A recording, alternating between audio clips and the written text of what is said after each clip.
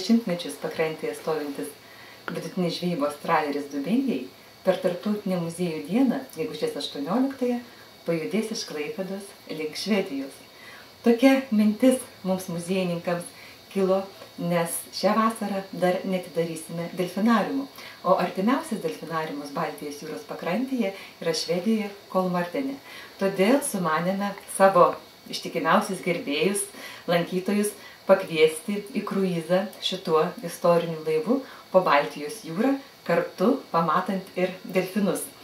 Iš tiesų, jau registracija prasidės kitą savaitę ir tie 25 žmonės, kurie keliaus pirmojų kruizų į Švediją, e, per tą savaitę pasijus nukeliavę ir kažkiek metų atgal nes šis laivas reprezentuoja sovietinį laikotarpį. Viena tokia aplinka sovietinio laikotarpio knygos.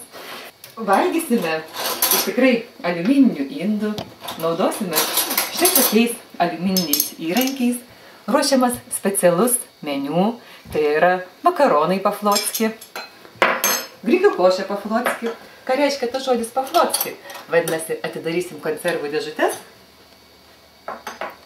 į grikių košę sudėsime visos konservus. Tikrai galėsim paragauti ir geros silkutės su svogūnais ir aišku, kuo tą silkutę užsigersime. Iš tikrųjų, m, mm, laukia muziejininkų didelis žygis.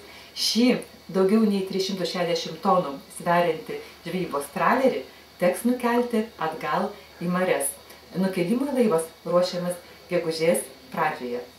Tad norinčius nusikelti ir į sovietinį laiką ir aplankyti delfinus Švedijoje, jau kviečiame registruotis kruizui po Baltijos jūrą vidutinių žvejybos tralerių Dubingiai.